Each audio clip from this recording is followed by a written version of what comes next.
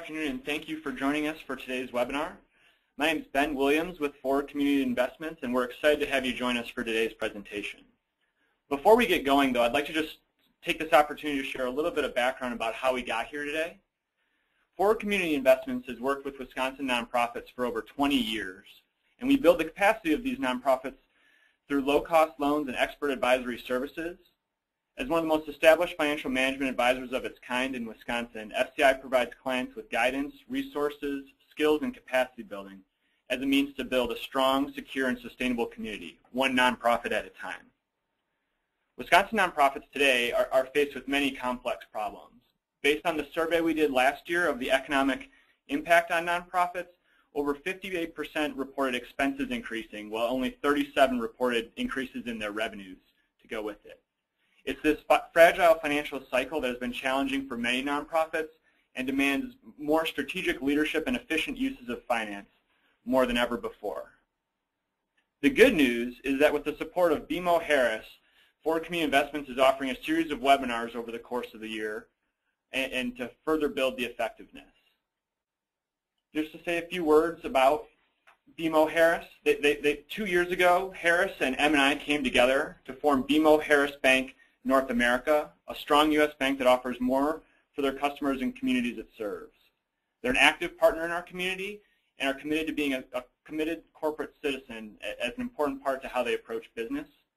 We applaud their, their efforts in supporting the nonprofit community and are excited to have them as a partner for our series. Before I turn it over to Preeta, I would just like to walk through a few housekeeping points. If you look, uh, on the screen, you'll see that you can dial in either using the telephone number and access code or using your computer speakers. You can change this in the audio function uh, uh on the panel for GoToMeeting. We'll be taking questions during this webinar, so if you have any questions, please submit it through the chat function, which can be found on the window on the right side of the screen, and, and we'll answer those at several interviews as inter intervals, as well as having an opportunity at the end of the session for general questions. We'll also be using polls to understand and get your feedback as we go through it. And so we'll test one of those out right now by starting a poll on what your role is in your organization. And so if you can please respond to the poll that you see on screen.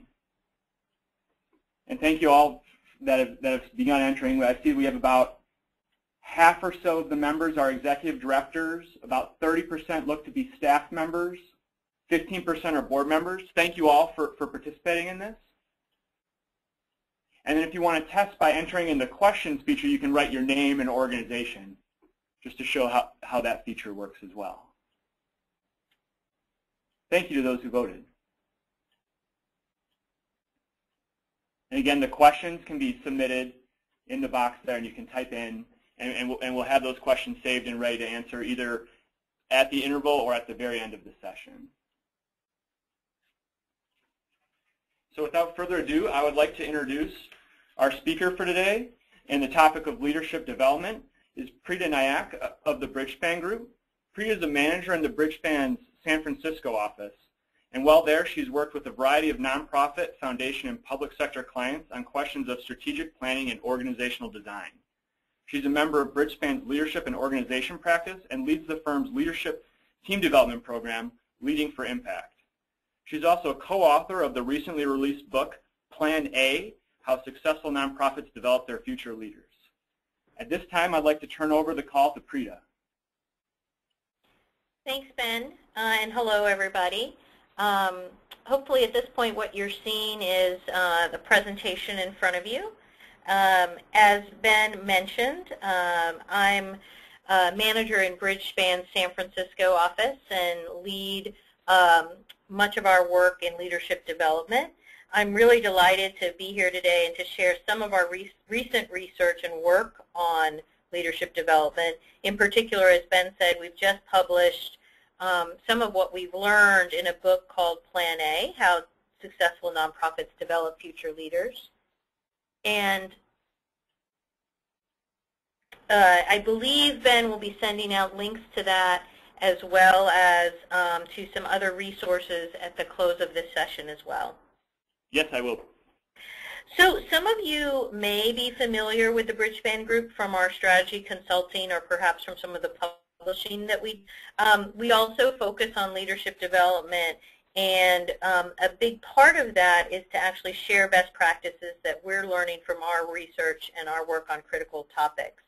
And there's frankly no topic that we found that's more important and challenging than the question of how to develop leaders in the future. For today's discussion, really have three goals. First, just want to share some of the research that we've done on this topic with you. Second, discuss the organizational habits that you can build to address the challenges that you're facing. Um, and last but certainly not least, share some of the tools and approaches that you can go ahead and begin to use to build those habits that um, you want to develop in your teams and your staff.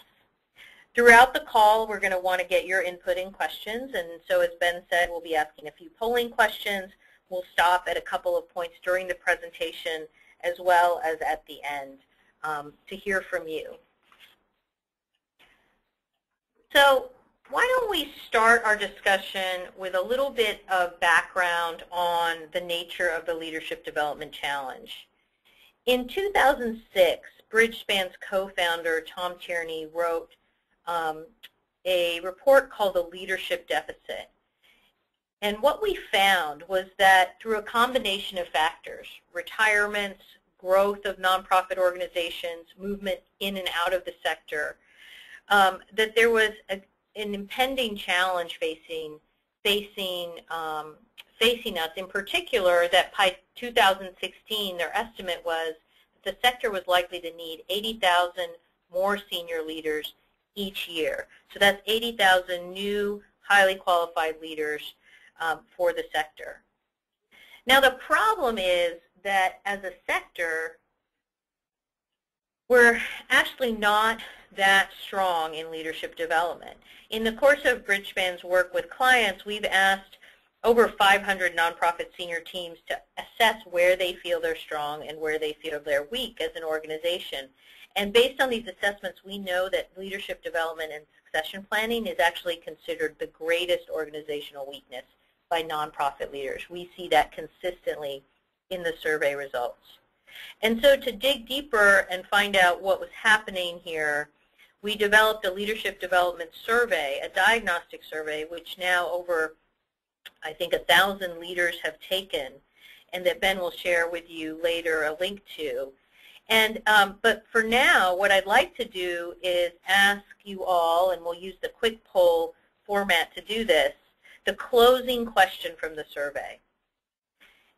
And so the question is, to what extent do you agree with the following statement? My organization is highly effective in developing in developing a strong pipeline of future leaders.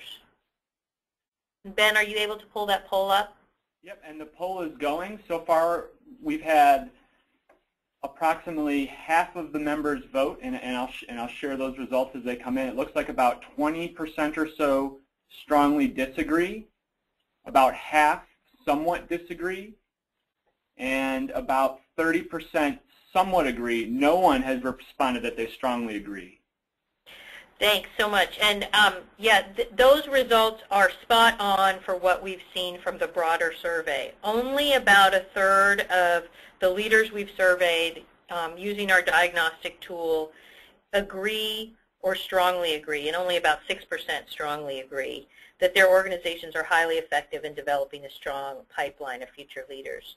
So um, you know, depending on, on where you fell in that response, while your individual organization may be doing somewhat better, we know that as a sector overall, we have some challenges here. And in fact, when we started this research on the topic, what we did was actually talk with a lot of organizations to understand um, what they were feeling good about and where they were challenged. And executive directors often told us that they felt like they knew that they were doing some things well, but they just didn't have a complete picture of what to do and really how to make these activities part of everyday operations. Um, nor did they have a sense of what some of the best practices were that others were using either in the for-profit or nonprofit sector. So the research that we did for the guide and that I'm going to be sharing with you today actually looks at both of these things. What's the overall picture of best practices, and then what are some specific examples that you might put into place?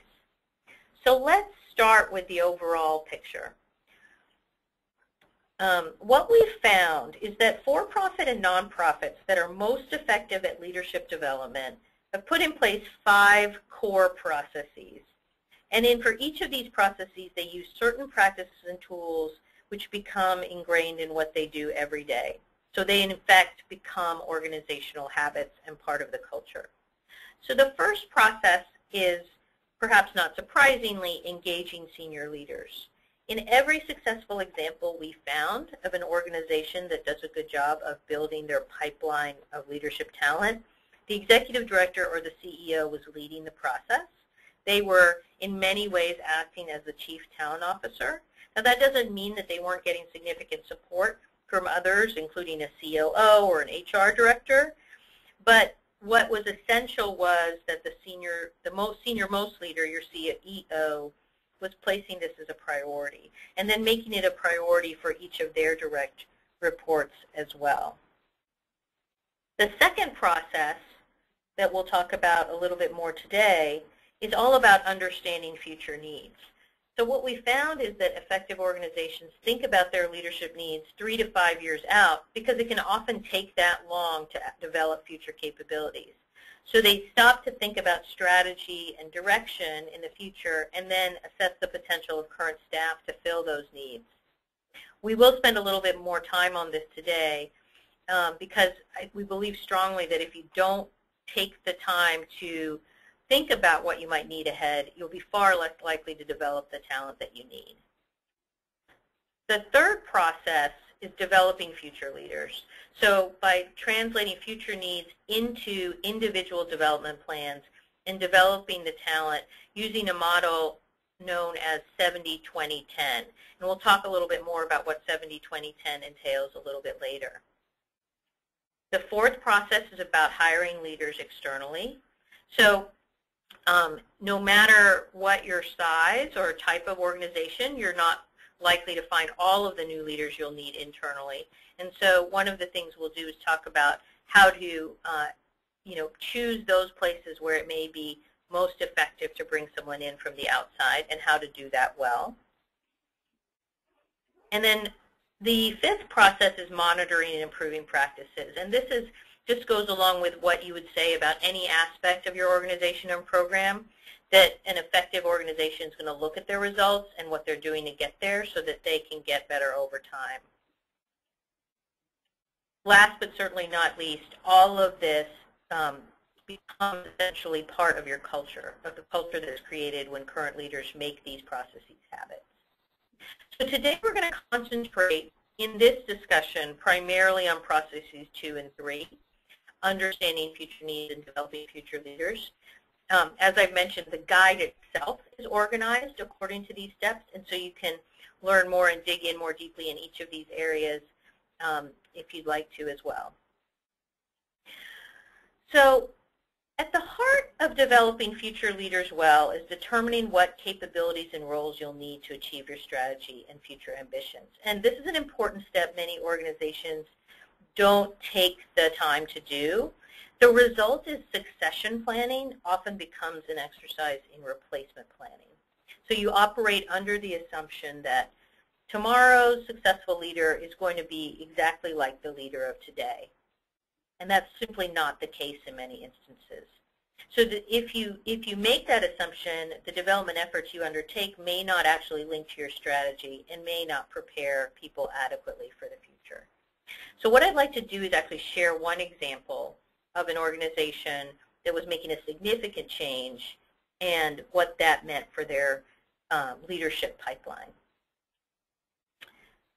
During our research, we had the opportunity to interview Bob Ottenhoff, the former CEO of GuideStar, and his COO, Deborah Snyder. So GuideStar, as many of you know, is a nonprofit that gathers and publicizes information about nonprofits.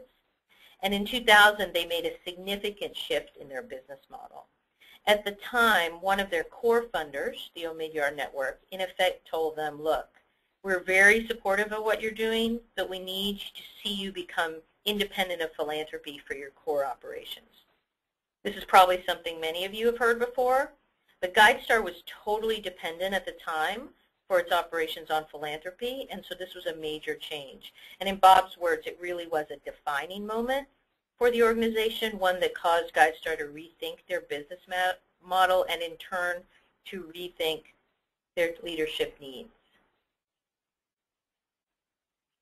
Specifically, they realized that the best way to sustain and grow over time was to generate more revenues through fees, that they couldn't give away all their products and services as they had until then, and they determined that to upgrade the quality of their services as well as the client support they provided. In terms of talent and leadership, they concluded that they needed to build that they needed to build stronger marketing and sales capabilities, and they also needed to develop products that were more user-friendly. Both of these meant a shift in capabilities at both the senior level and among the staff, including bringing some new talent on board. So what I'd like to do now is turn to your organizations and your future leadership needs. So Ben, I'd love to do another quick poll and um, ask the following question, which is, compared to today, the leadership capacity in your organization that you'll need to succeed in the future is likely to be either significantly different, somewhat different, or largely the same.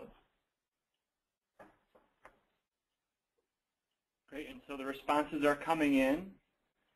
We've got about half the vote so far. I'll wait just a little bit. It looks like around one-third are saying significantly different. About 60% are reporting somewhat different, and about 5 to 8% are reporting largely the same. Great. And again, this mirrors what we've heard from not only the diagnostic surveys we've done, but the conversations we've had with leaders. And what we see is that organizations are often seeing what may only be a 20 or 30% change in the types of needs they do. Much of what they're going to be doing in the future is similar to what they're doing today. But that 10 to 30% change may be very critical to their future strategy and ambitions. And so accomplishing that change is really going to require stepping back, thinking about the leadership and overall talent implications, and then thinking through how to best prepare, recognizing that no, um, you know, no predictions are going to be 100% accurate. So what I'd like to do now is just share a framework or a set of questions that can help you think about future needs a little bit more systematically. So what you can do is just start with your future direction and list out some of the expected strategic changes you imagine might happen over the next three to five years. So it may be that you um, are thinking about new programs or initiatives. You might have more sites growing changes in who you're serving, changes in how you're funded. But for the purposes of, of, of, today's conversation, and even as you're thinking along with us, maybe think about one initiative or change that you think is going to be important. Then think about what you as an organization will actually have to do in order for that initiative or change to succeed.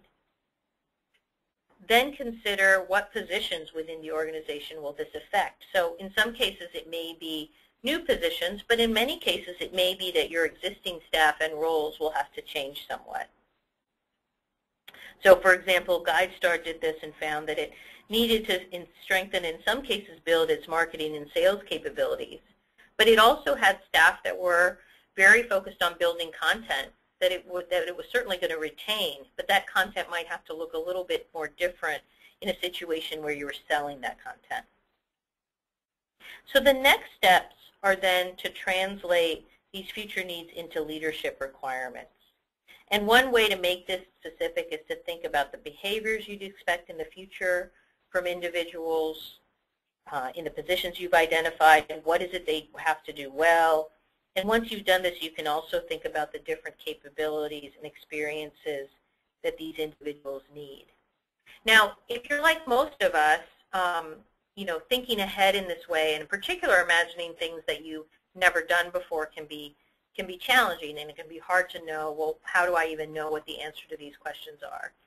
So I think the, the what we've seen that works well is there's some element of just having this discussion as a senior team, maybe with your board or others to, to start to generate ideas. The other is actually to look to other organizations that may already be doing some of these things and talk with them to understand what capabilities they've built. Um, while you might not get the exact answer, we firmly believe that you'll be further along and much closer to where you need to be in order to start doing the training and development that you need.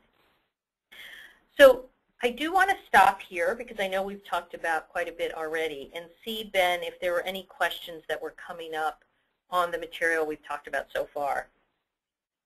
Yes, so if anyone has a question, please feel free to post it in, in the questions box and, and we'll be able to address them now. One question that I see, Preeta, if you, if you could address it, you know, maybe just generally as, as a concept, is for those that are uncertain what types of changes are they going to need, how can they work to develop that leadership skills if if it's just a matter of dealing with uncertainty? Yeah, I think that um, I think it's a fair question. My suggestion would be that um, um, while there will always be uncertainty, um, it would be worthwhile even just looking at your near-term strategy or even perhaps thinking about trends that you've already seen, so shifts that you've already seen underway that might continue, to try to identify those. Because while um, while it's true that you're not going to be able to predict 100% what's needed, um, you absolutely can narrow the band and start having the conversations. And even by just doing that, you'll become much more attuned to signals internally or externally. If you are, I mean, I, in an ideal world, you're developing a strategy every few years that is helping you to sort of decide what the future will need, and that can be the basis of the conversation. One other question we have is, should the organization's leadership assessment be competency-based? Um, so in terms of uh, performance reviews and performance management, um, if that's if that's where the question is is headed, uh, I think we do find that the most kind of sophisticated organizations or those who um, are most successful have identified the competencies that they need in their leaders. Um, if nothing else, I think that helps you to very clearly identify not just who's performing well today, and but also who has potential to do so in the future. And as we'll see in a moment, um, even coming to agreement by, by establishing competencies, um, you, you can start to come to agreement as a team on what you're going to need. Great. And then one other question. Realistically, what leadership skills can be developed internally beyond the technical ones?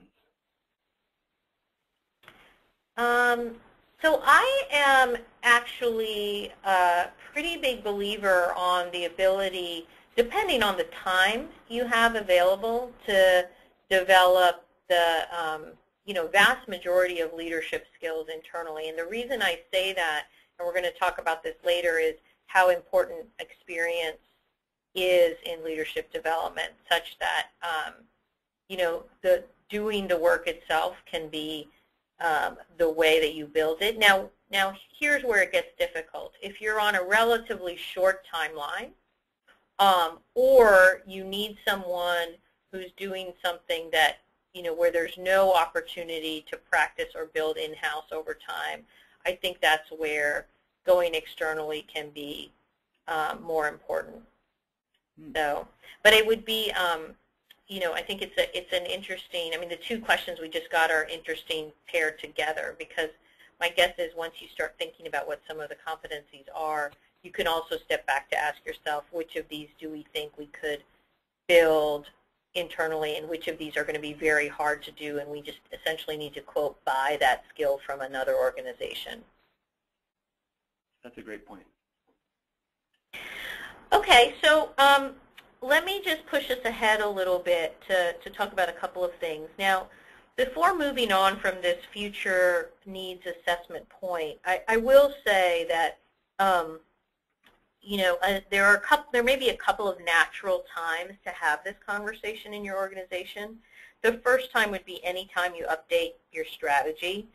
So, um, you know, and that, that may be every few years. When you're in the process of your strategic planning, your strategic plan should have a section that is actually dedicated to understanding in order for this strategy to play out effectively, what will our talent and leadership needs need to look like in the future. Um, some people make this a question they then revisit during their annual planning, um, so you can kind of see how you're progressing.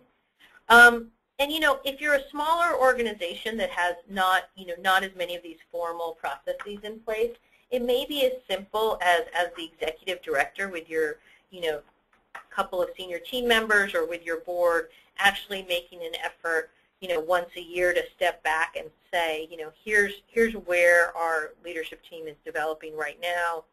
Here's what we might need in the future. So have the conversation. I think just having that conversation will change and improve the mindset that you need. So assuming you've done this future thinking, the next step is to assess how your current or potential leaders stack up against these future needs. And to do this means you have to talk, think about the future potential of your talent. So in our survey, uh, our diagnostic survey, about half the respondents said that they consider staff potential as part of their evaluation process. But we find that few actually have tools or approaches that help them do this systematically. So let me introduce you to a tool we call the performance potential matrix, and you might consider using this. In fact, as we review this tool, I would love for folks to just think about one of your direct reports and where you might place them within the matrix. So what I'm showing here is the performance axis of the matrix. So most organizations assess individuals on performance and are reasonably experienced at determining who their strong performers are, who their good performers are and who their poor performers are. But the point of this tool is to also look at potential, shown here on the y-axis. By looking at both dimensions, you can determine who among your staff both perform well today and who has the potential to play a broader leadership role in the future. For example, in the blue boxes here, you may have um, those folks who um, are performing well, um, but have a limited potential, so strong players, reliable professionals. So they either are people you might want to retain, but they may not be taking on additional roles in the near term. Hopefully you'll have a few individuals who are in these green boxes these are folks who may be most prepared or most on the uh, cusp of taking on broader roles. You are likely, at least in the course of your organization's history, to have a few individuals in the red box, so chronic underperformers, um, where you are going to have to address the issues there. And then you're also likely to have some folks in the yellow boxes. In our experience, thinking about these individuals is more complicated they seem to have high potential, but performance is not what you'd like it to be. And it may be that they're at an early stage of development, or perhaps there's some sort of misalignment between the skills and the competencies they have and the role that they're in. So you're, you're thinking about applying this kind of grid and assessing your direct reports. One challenge you may find, most find, is thinking about how to actually define something like potential. And you want to have criteria and standards to assess that the same way you have criteria and standards to evaluate performance. The Corporate Executive Board, um, who we talked to during our research, collects best practices from the for-profit companies, and they shared this uh, basic schematic with us. And they said, you know, when they looked across those who do some sort of potential evaluation, they really suggest that you consider three criteria. One is ability. So these may be the future-oriented capabilities that your leaders will need, how effective they are in learning new information, their emotional intelligence, or, or maybe some technical and functional skills. Next is engagement. So really identifying those individuals who are committed to the future of the organization, who are really um, interested in putting in that extra discretionary effort and want to remain with the organization over the longer term. And then last but certainly not least, aspiration. You know, who aspires to do more? We all know that different people have different motivations, and these can be influenced by factors like stage of life or their personal situation, and so they, they may change over time. None of these are necessarily static. But you can see that using this kind of tool enables you to see the overall picture for somebody's potential. And then the performance potential matrix that we just talked through is a tool that lets you um, map out and look through your staff overall. You can plot your current and future leaders on one page, see if you have leaders who are ready to take on more now, and also determine if you if you are likely to have leaders in place at the right time to meet your future needs. One thing I'd like to do is just uh, emphasize that the reason to do this, in addition to sort of just getting a sense of where what your where your overall pipeline sits, is that you really want to then connect this to individual development. So let's take a couple of examples of how you might do that. So here I've given an example of a manager, Chris, uh, of individual giving. And as this description says, she's a good performer, she has strong commitment and aspiration, and your senior team in discussing her really see her as having great potential. So you might place Chris in the upper middle green box, a strong performer with high potential, and the next step is then to define what the development goal would be for her. How do we help her prepare for the future? And you might imagine goals that find ways to test or stretch her in her current role or beyond to prepare her for a future leadership position. And that's the, that's the place you want to get, push the conversation beyond simply placing Chris in a box is to actually talk about what does she then need and how you provide it. A second example, Max, is a manager of store operations. He's a strong performer and he's committed to the organization, but for personal reasons he can't take on a broader role right now. And so his potential is limited. Uh, limited. So you might place him in the bottom right box, recognizing that this is where he sits right now. It's important to retain him because he's such a strong performer, but it's also going to be important to periodically reassess his potential for growth because his personal situation and his ambitions might change over time. So this kind of tool um, is not something that only large national organizations with huge staffs can do. In fact, while we first encountered this tool, um, when we first encountered this tool was actually in the nonprofit sector with an organization called Up, where Gerald Chertavian is their CEO. Now, Year Up is a nonprofit that works with urban adults to help them reach their full potential. And when Year Up was a one-site operation with just about a million in revenue, Gerald would take his team of leaders, those um, who he considered his senior team, off-site to his house every year, and they would plot every staff member on a simpler two-by-two 2 version of the performance potential matrix. And they talk about each person and their potential and the ways that they as a team were going to commit to developing them. So you can imagine how powerful it would be for your team to have a clear understanding of who represents the future and what you collectively need to help them be ready. Now, Up is now a $30 million organization, and they still use this tool, um, but now they look site by site and across the organization to do so, and have gotten a little more formalized about the process. I'm going to stop in a minute to take questions, but I wanted to first share a couple of both benefits and watchouts to keep in mind when you introduce a tool like this. So the benefits are that it can really help to create an understanding of, among your leaders about what it actually takes to be a high performer. And uh, also push the discussion that you can have together about what it's going to take to get there. So what kind of assignments or coaching or training might be needed. But there are watchouts, some of which we've mentioned already. You do need to have clear criteria for potential. And you need to have regular conversations with your employees. So you have to have a willingness to be transparent um, and have regular discussions about aspirations and commitment, understanding of ability and performance. And so that will take some internal discussion because, you know, for some nonprofits, this may be a difficult or even kind of countercultural exercise, the idea of assessing folks on potential. And so you really do need to stop to ask yourself what might work in your organization.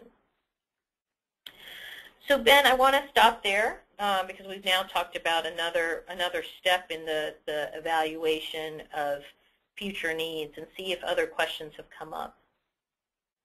Yeah, there have. I, I think there, there are two questions immediately that come up. The first, you know, for organizations that, and, and I think the context is for an organization who's new to this kind of assessment, and you, you briefly touched on that as a watch out about whether it would fit with their culture, but how would you recommend introducing this if, no, if, if that hasn't been historically a, a type of behavior or action?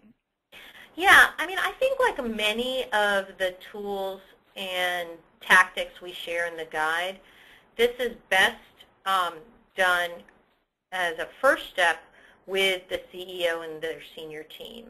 So um, one of the kind of first steps I'll recommend uh, at the close of this presentation is that you know everyone on this call try to do this for a couple of your own direct reports, um, just sort of testing it out and then maybe do it as a senior team um, to see, you know, see where one, how aligned are you on definitions of things like potential? Um, you know, what do you discover in the process? Uh, and, and essentially test it out on a small group of people before trying to cascade and use it across the organization. And just by testing it out, I think you'll start to see where the questions come up for you, what what is important to communicate if you decide to do this more broadly. Um, you know, what kind of, even simple things like, is a three by three really valuable or is it just a simple two by two, a good way to get the conversation going. So um, at some level, what, we, what we're suggesting is you should just play with it a little bit mm -hmm. and, and then move from there. Good.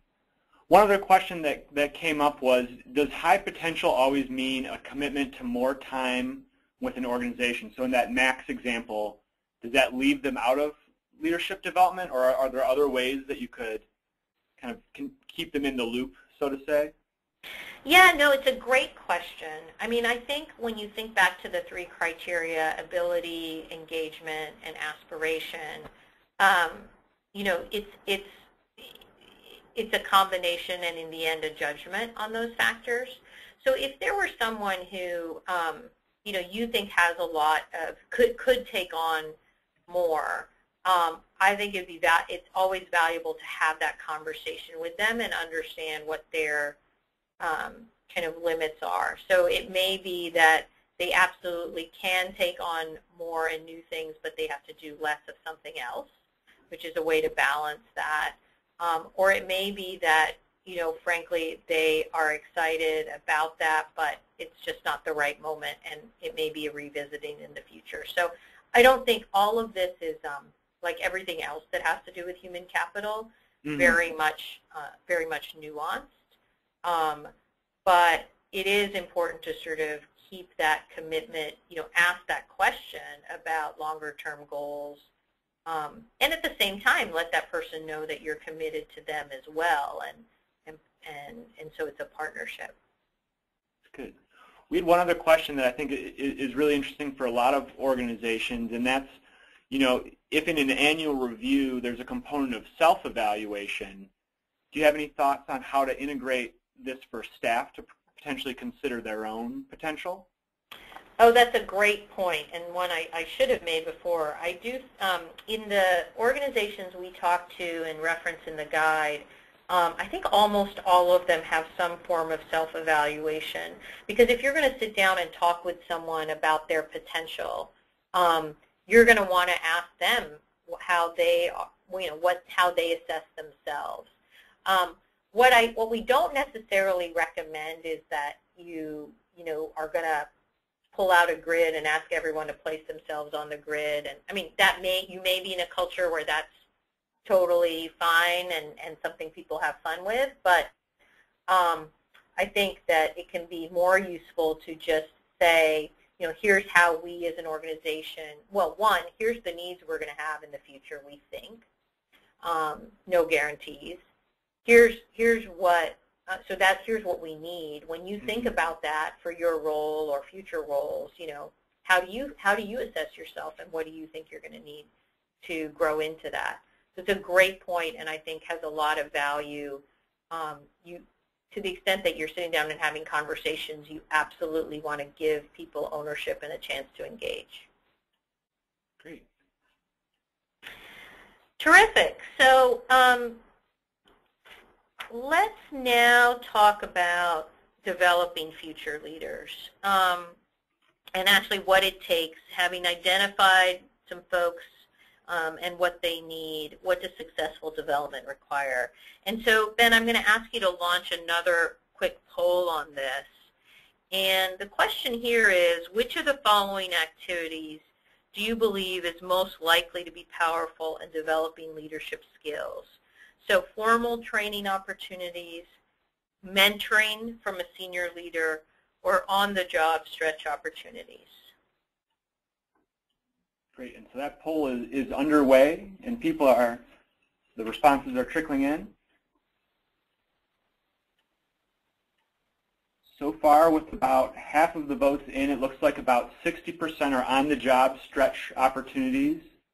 About 40% look to be mentoring from a senior leader, and the remaining 5% is through formal training courses. Great, and um, and I think I hinted at this a little bit earlier as well. Um, it, it, this idea that on-the-job opportunities are most important is actually borne out through the research.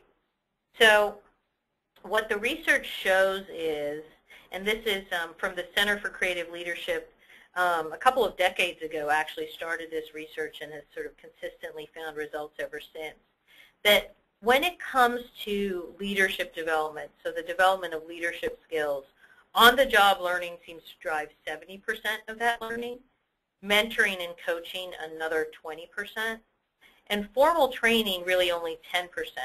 Now, these are most powerful when the three are tightly integrated, but the but the I think the lesson is where many of us often go or where you'll hear organizations go when they're thinking about development is to training, offering training and workshop opportunities. While that's important, it's really only a small piece of the puzzle.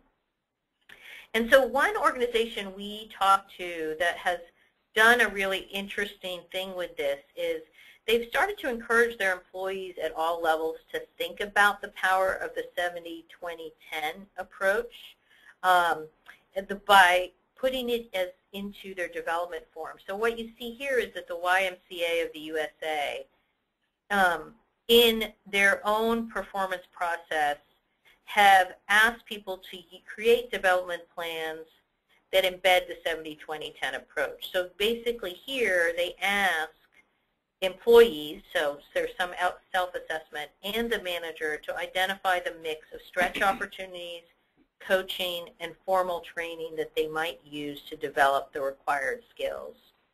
And so if you think back to our earlier example of Chris, the individual giving manager, you could imagine a development plan that might look something like what's shown on this slide. Um, you know, if, if a competency she needs to develop is training and communications related to funding, there may be some experience-based assignments like developing and leading presentations, doing something with the board. There may be particular people who she really needs to interact with, like a volunteer coordinator or a board chair. And then there may be some formal training or self-study that she does.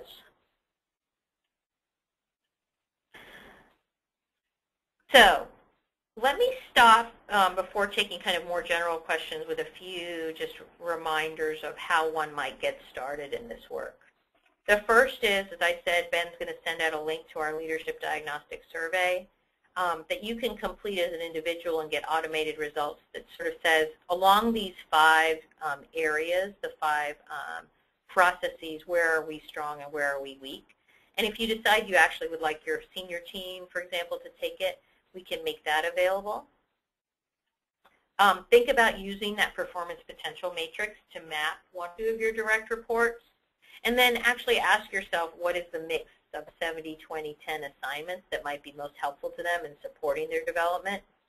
So and if you if you try it out and you find it interesting, ask your maybe your full team to do this exercise together with it with their own direct reports.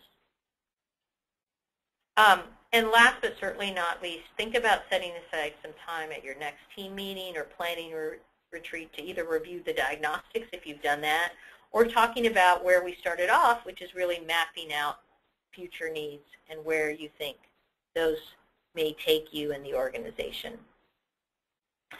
Um, ben, let me turn it back to you now and see what general questions we may have.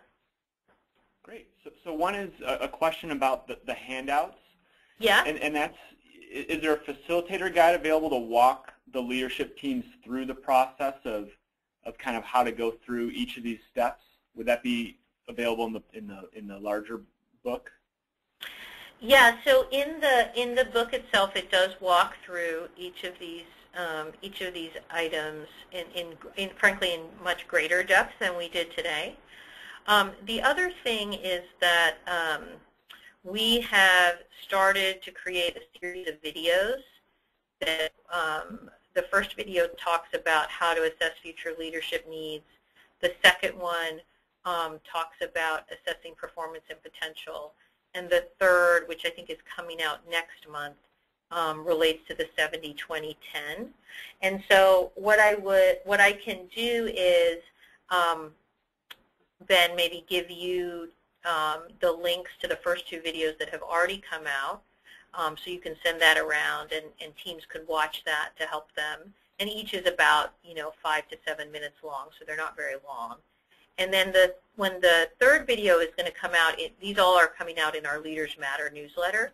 So what I'd recommend is for ev everyone online who's interested to just subscribe to that, which you can do on our website, um, and then you'll get the future videos as they come out.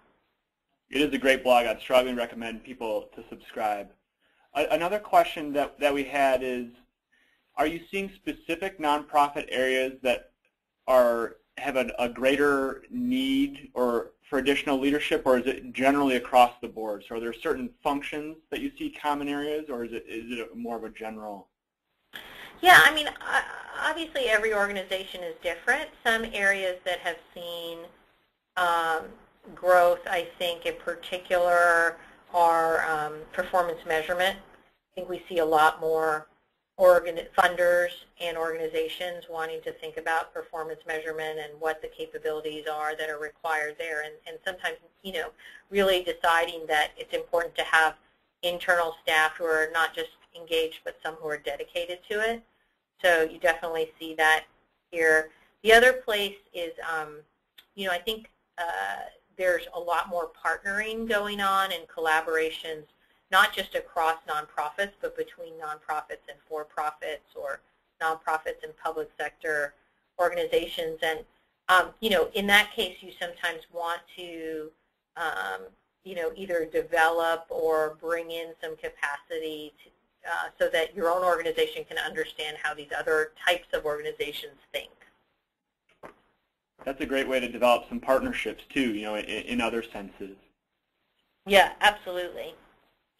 Uh, one question, uh, you know, a lot of the context here has been with a nonprofit organization that has full-time staff. Um, one participant is curious if this could apply to a governing board that's drawn from membership. Um, I think to the extent that you have, um, and, I, and I've had conversations with folks about governing boards as well, um, I think to the extent that you are seeing the needs of that board to change, which frankly often is the case. So let's say you do a new strategy, you may have a different funding model, you may have different set of services that governing board needs to evolve. You absolutely want to keep these principles in mind, both you know thinking about some the key leaders you have and, and how they may be transitioning out over time, but also what are the needs, the new needs. What I don't know um, you know, I think this is where actually having a good conversation with whoever's the lead of that board can be useful because you'd want to work together to think about next steps. Hmm. One, one, one participant also had a question about coaching and how, you know, both internal and external coaching, how they fit in leadership development strategies in the nonprofit sector. How you see that? Yeah, you know, I think that um, particularly when um, when you're uh, when you get to that point where, and we talk about this in the guide, where you're trying to build. Um, well, to step back a second, for any of this to work well, if you think about that 70-20-10 concept and developing leaders, you actually have to have managers including your senior team, who are effective in developing other people because they're the ones who are going to give the assignments, have the conversations about potential, um, provide the, a lot of the coaching and mentoring. And not all of us are, are great at that, right? We may not have been managed particularly well ourselves. Um, we may not have had many good role models. And so I think, um, you know, what I've seen can be quite powerful is either to bring in someone uh, let's say, for example, you're going to be having feedback conversations and conversations about potential for the first time, and you think that could be tricky, you know, actually bringing in a coach even for a working one working session with your senior team to talk about how to set that up and navigate it well can be good. The other thing is you may find, and we talk in the guide in more depth about the fact that um, when you look at across managers, there are those people who we call talent champions. These are the people who are really committed to developing other people and are really good at it, right? And um, in the, the for-profit sector, the estimate is about 20% of, of managers fall into that. Um, another 40% are actually like engaged and committed, but just don't feel like they know what to do or how to do it. And then, of mm. course, there are some who, who just aren't convinced that it's important for those people who, um, you know, I would say if you can move that 40% that's committed but just not effective into the committed and effective column right there, like triple the number of effective developers you have. And my, my sense would be if you can bring in, you know, a coach or even just highlight, you know, um, what those people who are already good at it are doing, that could be quite powerful and it can be done in a targeted way so it doesn't have to sort of break the bank to, to have that support. I think that's great advice as well, just from, from our experience. You know, the mission comes first, and if people are dedicated to it, they'll find ways and be open to finding ways to, to solve it. Absolutely. If there are any other questions, please feel free to, to post them in, and, and, and we're happy to ask. We have about five minutes remaining. Preeta, are there other trends that you see as, as being important, you know, in terms of keeping the conversation going after the first assessment or, or, or, and after reviewing it that can be helpful just to keep things moving? Yeah, I mean, I think the thing that we um, suggest, and there are some different examples of this in the guide, is to the extent, so bottom line is um, this doesn't work if it's considered sort of a separate initiative. You know, this is the year of focusing on leaders or whatever it mm-hmm. Um, the only way it works is if you build in um, the practices as part of your ongoing kind of business rhythm. So, for example, if you want to start using the performance potential matrix or some tool to, you know, have the potential conversation, you want to do that at a natural time. It might be when you're doing your performance reviews. Anyway, you set aside an additional, you know, time as a team, uh, maybe in, you know, a couple of the senior meetings you're going to have anyway, to have a conversation about potential. And you don't just have it once because the first time you do it, it'll, you know, you'll be sort of working out kinks, but you do it the Mhm. following year and the year after that, and it becomes a regular part of how you do business. Similarly, if you're thinking, oh yeah, we should take more of the 70-20-10 in mind, um, you know, think about how you build that into the forms that people are already completing or the conversations they're already having. Um, and last but not least, I think I mentioned that there's, you know, anytime you're doing strategy or annual planning, this is another way to insert an important question into those things you're already doing periodically. That's absolutely the best way to start it. Great. One more question that, that came up was what you see going on in the trends for using 360 reviews in the nonprofit sector that's somewhat popular in, in, in for-profit organizations, but bringing that over. Is, is that an ongoing trend you see? So I don't know what it looks like from a trend perspective, so I don't know how it has changed over time. Um, I do think that many organizations are using it and finding it very helpful. And I, I guess the one thing I would say is um, it doesn't have to be that complex to do it. Um, I think the trick is sort of thinking through how you um, how you deliver 360 feedback in a situation where you know there's only one or two people who are kind of commenting on someone's performance. The way I've seen it done is to actually bring in either to select someone who's sort of a third party in the organization or to bring in someone um, who will just interview folks to understand themes um, and look not just at your direct reports, but talk to your bosses, talk to your clients, you know, really try to get a rich set of information. Um, the, I think the one thing I have noticed is it, too often it, it happens only when there's like a big problem, and then then it feels like, oh, this is this is something we're doing because we have an issue or a crisis. When the truth is, I think most of us, um, however good or we are or not, um, would love to get more often get honest feedback on on how we're doing and what we can do better.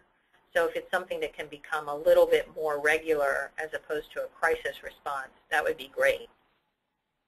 That changes the context of it too, you know, where it becomes much more of a, a positive and constructive moment. I think I think that's great advice. Absolutely. Well, well, please join me in thanking both Preeta for today's content. This was this was wonderful, and, and this is an excellent kickoff to to our virtual leadership series, and also BMO Harris for their support. The information that was shared uh, again, as well as the webinar recording, will be um, emailed out to all the participants, and also the, the webinar recording will be posted on our website. In specific, uh, we will be emailing out a copy of the presentation, a link to the full guide of nonprofit leadership development, what's your plan A for developing future leaders, the videos that were mentioned earlier, and a link to the self-assessment that you can take so you can actually put this into practice for yourself. One last final note, just before we, we end, um, you'll be directed to a very concise questionnaire of about four questions on today's webinar. Please take a, a moment or two to complete it. It really helps us continue and understand the effectiveness of our offerings. And thank you again very much, and enjoy your day. Thank you.